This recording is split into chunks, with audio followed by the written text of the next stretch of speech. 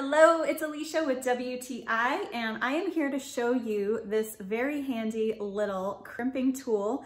This is from TUBTAP and this is a wire crimping tool for ferrules and this is awesome. So this tool is super handy. It is the specific tool that you need for crimping ferrules and it comes with this kit which is awesome because it has 1200 piece terminal assortment. So you can use these for all different gauge wires and you have plenty to choose from.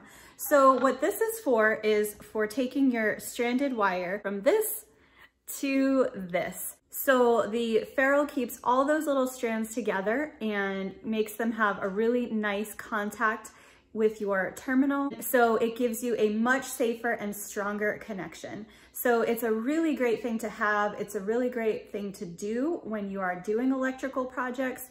And so it's definitely the perfect tool for it. So this tool is definitely heavy duty. It's got a good weight to it. It feels strong and durable and like it's gonna last you a long time.